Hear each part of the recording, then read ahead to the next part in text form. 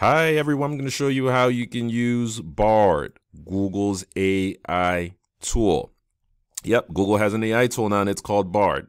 And you could do a lot of phenomenal stuff on it. As you can see what it's showing you here, Bard can do this and Bard can do that. Those are all the things. It's important though to note that it is still under experiment. You see over here, it is still under experiment. So at least know that going into it that everything that you're going to do might just not be perfect yet. They're still on the road to perfection. Okay, but how then can you use Bard? Well, the first thing is, again, you want to sign up to be able to gain access to this.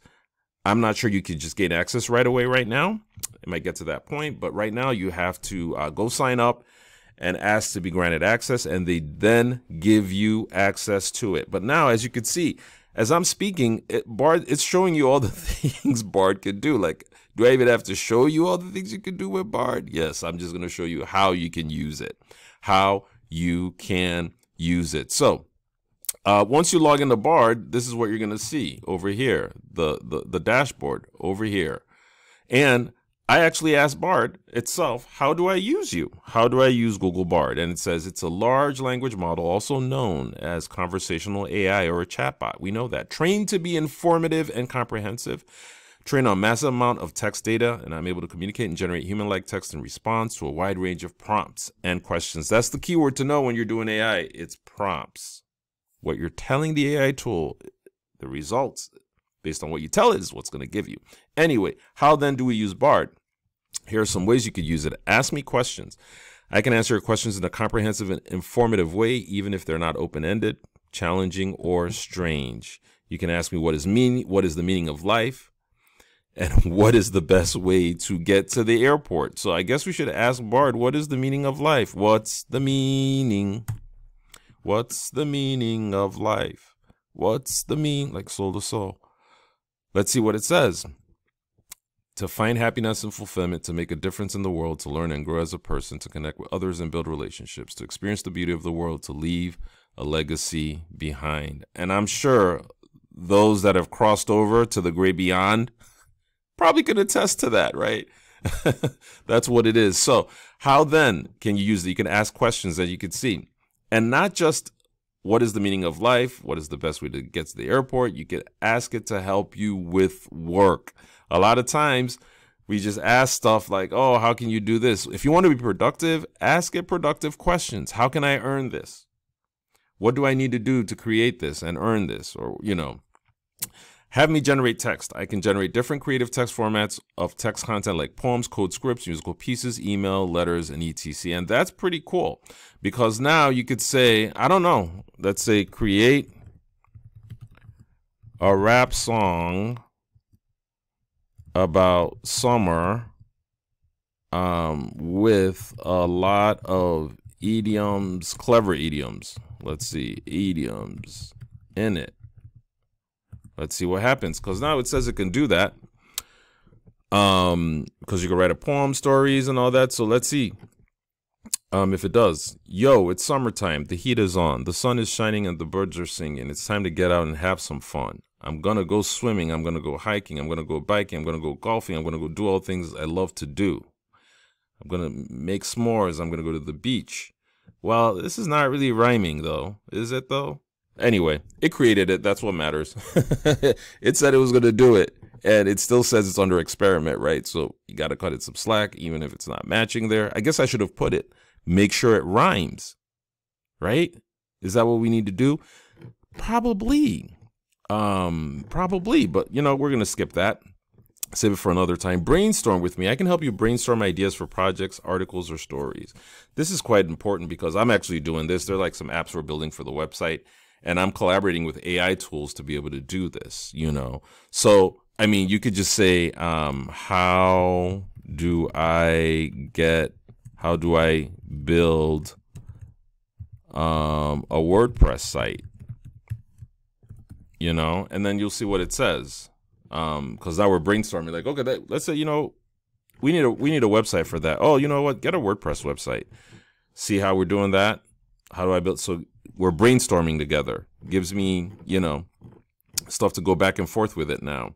And then translate languages. Wow. That is so cool. That is so cool. So we'll do something Very easy. Can you translate yes in French?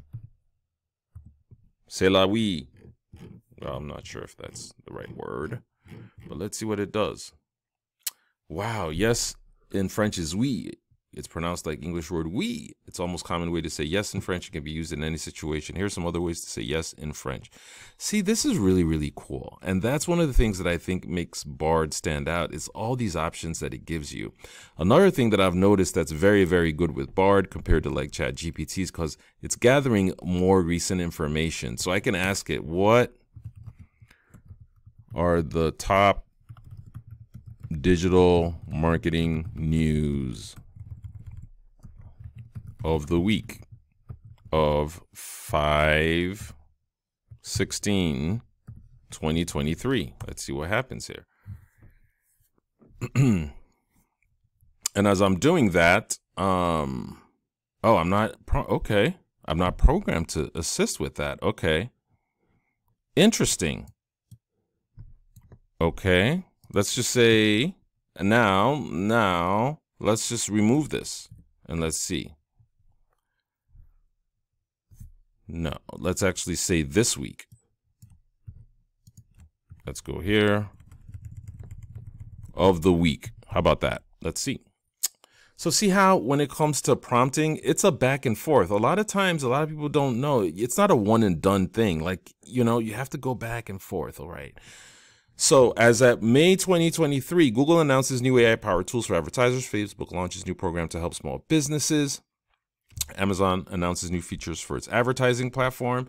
And I am not sure, you know, I am not sure that that's what will happen if we were to go to Chat GPT. I'm going to go over here to um, Chat GPT and let's see what happens if we actually ask it the same question over there. And this is what I think makes Bard really unique because ChatGPT is still going off of information. And here we go over here. I'm running it now.